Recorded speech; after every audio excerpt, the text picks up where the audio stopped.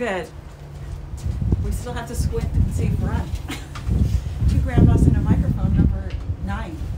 Number nine. Hi, everybody. Hi, so, Oh, we want to make sure that our volume, I've been getting some feedback that uh, our volume hasn't been working out so well, so please let us know because we tried to do something different today.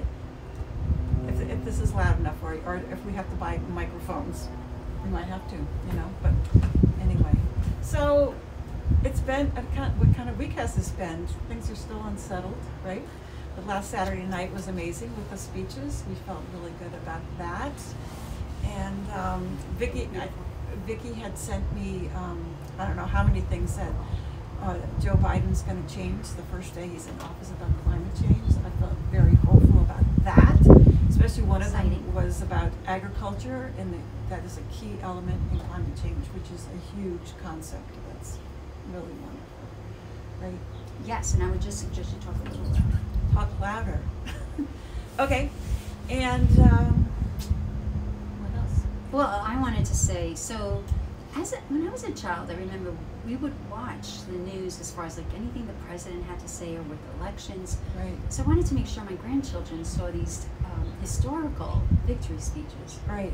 So after my, my daughter made sure she she was with her family and, and um, the two boys that are nine and twelve they watched uh, the victory speeches and my grandson who's nine came away saying I'm going to be president one day. Wow. I, he told me when I saw him he said Grandma I have to wait till I'm 35 but I'm going to be He's president wait till he's day. 35. But the funny thing was I had read um, Ah. I read something about Biden that that's what he did as a child. He said he would be president one Wow. day. You never know. Well, if anybody would be, Cody. Cody has that personality. Yeah. He's. So anyway, that was exciting. I think it was the first time he ever heard anything like that. So that was I hope was I cool. hope we're around to see that. you and me both. so that was fun. That was exciting. But I remember watching all that as a kid and how much it made imprints on me also. Yeah, right. And the first lady and all of oh, that. Oh, that was even more exciting than exciting. I mean, I felt every cell of my being for this woman winning this piece, you know. Right. Only 244 years. That's it. All right, so here, I'll, I'll be honest with this because, you know, this is how this all started with the Yes. patriarchy. That's right. And there's part of me that, you know, wants the, the male in charge, which, you know, obviously Joe Biden will be in charge. But when Kamala started to speak, there's, there was just something about it. And then I closed my eyes. I'm not going to be like that. I'm not going to be like that. And I closed my eyes and just really listened to her, and it was great. You know, so I'm, I'm so glad that I'm aware because it's going to go away just by being aware. I love your honesty, though. You see, that's what got us started. And with my whole heart, I love your honesty. Thank you. It gets me in trouble sometimes. What? but- I'm okay with it, though. See, because I'd rather have that than Then how could I say it, than you're not talking about. it. Because how do we change if we don't even look at what we might need to change on some level? Right. Maybe, Right. you know. Yeah. absolutely. I mean, if you were, but I think the way we have interjected the, um, you know, the patriarchal aspect of our society and views, it's Right. in men and women. It is not just in men. Right. It's not. So that piece is so real and so true. There's fans. Um, so anyway, just that piece that if we don't even look at it, if we don't even, how do we change anything? right. It's not fair to anyone. Right. Right. But things are changing. It's great. I'm, Yeah, I'm it is excited changing. and I'm hopeful, and it's good. And and this week I decided, you know, what I wanted to talk today a little bit more about is, you know, about meditation and staying grounded. I've done so much better this week, and I feel so much better. I've been meditating twice a day, which is like huge for me. And there's part of me feels like, oh gosh, I'm wasting my time, but it's not a waste of time at all. I feel so much better. I'm not so agitated with the world, or with my family, or you know, with people around me. So, but I wanted Vicky to share a little bit. Um, I guess I met Vicky a couple years ago at our uh, book club, and I was very impressed with her because she was so well. You're so smart, and you're so articulate, and but you also have this sense of calm about you. But then I find out that she lost her husband like eight years ago. She had to sell this beautiful home where she lived and move someplace else during all of that. And you were amazing to me. So I just would like, I'd love for you to talk a little bit about your spiritual practice and how it's important to you and, and what you do. And how you stayed whole.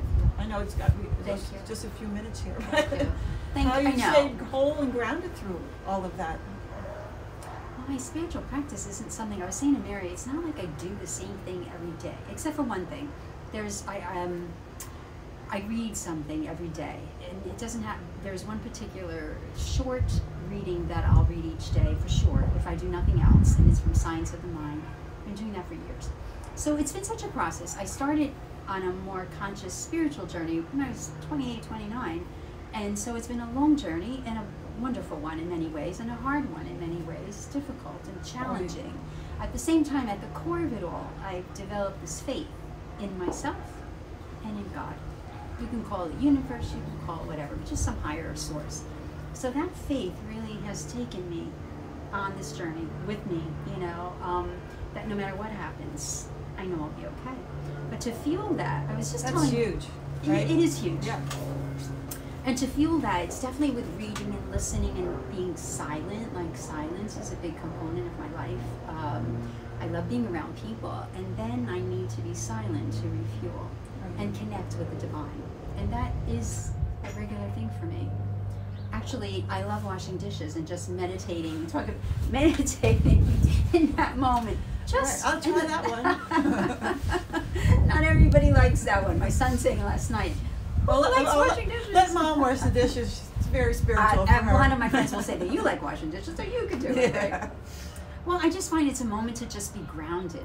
It started, loving dishes started when my husband was ill with brain tumors. Mm. That's when it started. I would find that if I just looked out, you know, did the dishes, looked at this beautiful view out my window, and if I would just focus on that. And the warm water in your hands. well, I right? use gloves. Oh. so it wasn't that. It was just being doing a regular everyday thing that helped me to get some groundedness because my husband had brain tumors and all that was going on with that was Wow. surreal, you know. So it was Right. it helped me to get ground me. So I think from that time on, I've just always appreciated dishes, you know. It, it helped me to be in that meditate or you know, maybe mindfulness state would be a Right. better way to, to say it. So I think mindfulness, meditation, quiet, reading has um, prayer, lots of prayer. Prayer throughout my day, really. It's not like a separate thing. Do you, do you actually like say a prayer or is it just kind of talking to God? It's like talking to God. Right. Yeah. Sometimes it might be in the form of petitions. Mostly it's gratitude. I have like gratitude beyond, you know, I'm very grateful for my life and my journey. So a lot of gratitude every day. I'm grateful. And I don't know, people are meaningful, relationships are meaningful to me.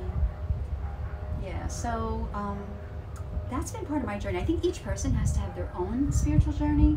And I think I would encourage everyone to find their own way that brings them peace and, And- uh, develops their faith. Right, and I think part of it is just deciding you're going to do it. I mean, it's not going to be, the angels aren't going to appear the first time or whatever. Right, You know, you just right. have to Right. keep keep with it. Well, and you know what? Underneath And, all, and decide that you have faith in that it works. the most important piece that's that got me really gave me momentum in my spiritual life was being honest. Being honest about the most difficult things about me. Wow, did that give me a big So, jolt. so what does that mean? Facing the things I didn't want to face about myself. Ugly, raw, honest truths. That's why I think I admire so much when you're so honest. Like I know that that's the foundation of any spiritual life or any spiritual relationship. Oh, excellent. Yeah, that's why I admire so. I was like, Uh, wow, that is huge. Like that is a big component of our journey, I believe. Honesty with ourselves, and if you can do it with another person, great. And you should. Well, I think it helps to do it makes, with another person. makes your life much easier in a lot of ways. But that opened up my heart, like being honest and facing the truth about how I was really feeling, opened up my heart and never closed again. But before that, it felt like I was contained in this like prison of fear. And so releasing all that, and that came from honesty and um, writing. Well, writing too. Right. Journaling is a big piece, yeah. Right. And writing it all out and feeling like I was communicating with a higher source, yeah. So you're writing letters to God. I was, Yeah. yeah, yeah. Mhm. Wow. So that helped. That was a big uh, pr- propelling me on my journey, and having a personal experience that informed me of my own spiritual life, and um, and developing, you know, that inner inner communication. Yeah. Right. But again, that's for me. I don't advocate that whatever I do is what you need to do. I, I think it um, you you find your way if you if you're silent, if you listen. Yeah. And Yeah. I, I did a blog post this week about the meditation, and I had some nice comments on it, just saying how oh I need to do, I need to start doing that. So I think on some level people know that you need to. It's so helpful to slow down and to connect to quiet and all that. Along the way in my journey, especially as a therapist, I really learned that each person has their own unique way of connecting with a higher source. It could be nature, it could be fishing, you know, it could be like it's just so unique to each person. And in that activity, or even in that stillness, God or the higher source finds a way to communicate with you. And, it could be like to me, the foundation is love. So, however, I remember being with one man one day as a therapist, and he was my client. I remember, oh my goodness, his children speak to him. Like it's through his children that he hears the higher stuff, you know. And so, or some people it's music, and that's a big way. A lot of people, or through music, like something gets to you, or somehow you get touched.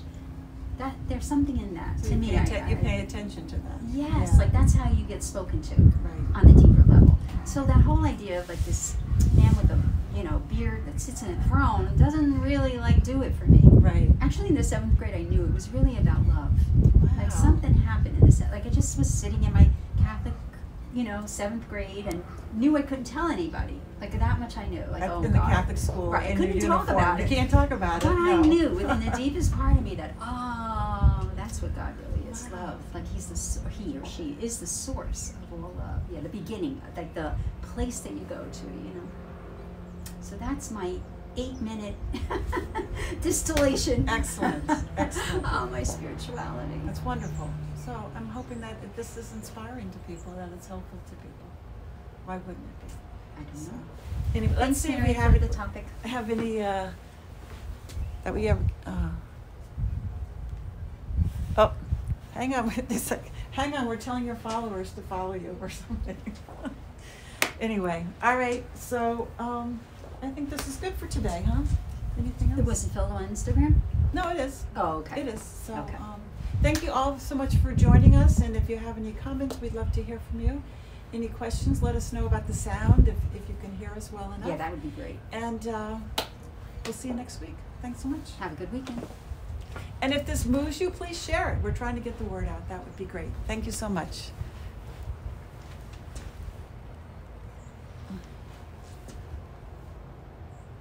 Oh, we end this? Oh. The hard part is seeing it right the screen because of the sun, right? okay.